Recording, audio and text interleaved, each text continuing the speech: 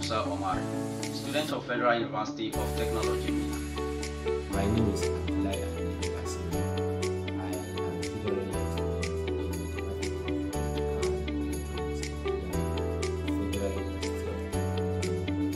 Hello, my name is Anuma Mohamed I'm a student of Federal University of Technology.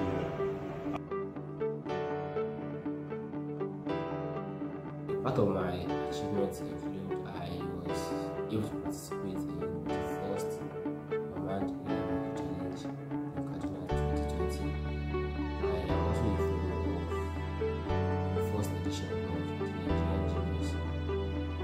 Past few years, I've gained experience in PCB fabrication and CAD software in making designs for prototypes. also I have trained over 80 people in drone lab piloting, relay and embedded machine into welding and fabrication.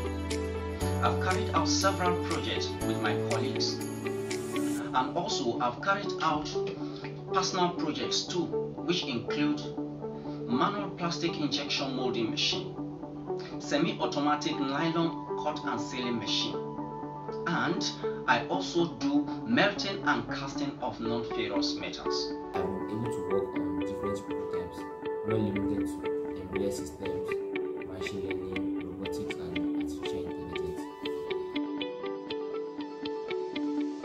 Why should my team be selected for this program?